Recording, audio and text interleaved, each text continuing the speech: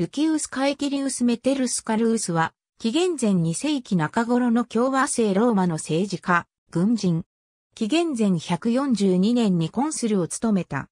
カエキリウス・メテッルス・ケ・ケズ・メテッルスはプレブスである、カエキリウス氏族の出身である。後に作られた伝説では、火の神ウールカーヌスの息子で、プライネステの建設者であるカイクルスの子孫とする。また、アイネーアースと共に、イタリアに来たカエクスの子孫とする別説もある。カピトリヌスのファスティによれば、父のプライノーメンはクイントゥス、祖父はルキウスであるが、父は紀元前206年に失生官クイントゥス・カエキリウス・メテンルス、祖父はおそらく紀元前284年の失生官ルキウス・カエキリウス・メテルス・デンテル、祖父父は紀元前251年と紀元前247年の失生官で最高人議官を22年間務めたルキウス・カエキリウス・メテルスと思われる。紀元前143年の失生官クイントゥス・カエキリウス・メテルス・マケドニクスは兄である。紀元前2世紀のイベリア半島大々がヒスパニア・キテリオル、緑がヒスパニア・ウルテリオル・カルースの早期の経歴は不明であるが、ウィッリウス法の規定に基づけば、紀元前145年以前にプラエトルを務めたはずである。紀元前142年のカルースは執政官に就任する。同僚のパトリキ執政官はクイントス・ファビウス・マクシムス・セルイリアヌスであった。前年の執政官の一人はカルースの兄であるクイントス、また翌年及び翌々年の執政官を、セルイリアヌスの実の弟であるグナイウス、セルイリウスカエピオとクイントゥス・セルイリウスカエピオが務めている。現代の研究者は、カエキリウス氏族とセルイリウス氏族に密接な関係があったと考えている。カルースを含め氏族の代表者は、元老院でハンス・キピオ派を形成し、プブリウス・コルネリウス・スキピオア・エミリアヌス・アフリカヌスを中心とするスキピオ派に対抗した。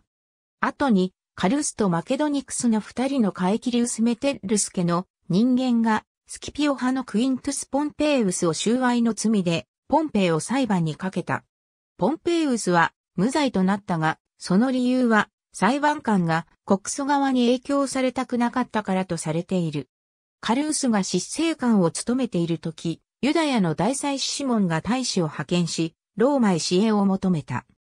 当時ユダヤはセレウコス朝、シリアに対する独立戦争を戦っていた。ローマは関係する国に手紙を送り、ユダヤに害を与えないように、ユダヤと戦わないように、またユダヤの敵を助けないように依頼することを決め、カルースが手紙を書いた。その中には、セレウコス朝のデメトリオス2世、アッタロス朝ペルガモンのアッタロス3世、カッパドキアとパルティアの王、それに小さな国の支配者たちが含まれていた。カルースとセルイリアヌスとは担当地位の決定をくじ引きではなく話し合いで決めた可能性がある。ルシタニア戦争が続いているヒスパニア・ウルテリオルはカルースが担当することとなった。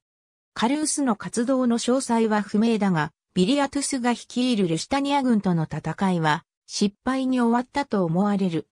翌紀元前141年、カルースはプロコンスルの権限を持ってヒスパニア・キテリオルの属州総督を務めた。紀元前136年か、紀元前135年、カルースはスキピオア・エミリアヌス、スプリアス・ムンミウスと共に東地中海に派遣された使節団の一員に選ばれた。カルースは当時最も権威あるローマの政治家であったスキピオに反対する派閥の代表として選ばれた可能性が高い。使節団はエジプト、シリア、アジア、キプロス、ギリシャを訪問し、これらすべての地域で古い絆を回復し、同盟関係を強化した。彼らは文明地域をほとんど訪問し、誰もが良識ある素晴らしい人生を送っていると判断し、栄光とともにローマに帰還した。誰もが一致して確認し、どこにおいても最大の賛辞を得た。また、同時代の人々は大使たちの質素な作法と親しみやすさに注目した。カルースのその後に関して資料には言及されていない。カルースの息子には、後にダルマティクスのアグノーメンを得た、紀元前119年の執政官、ルキウス・カエキリウス・メテルスと同じくヌミディクスのアグノーメンを得た、紀元前109年の執政官、クイントゥス・カエキリウス・メテルスがいる。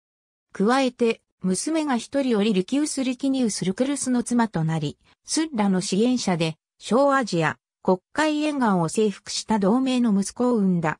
紀元前1世紀には、カルスの子孫から多くの著名人物が出ている。ありがとうございます。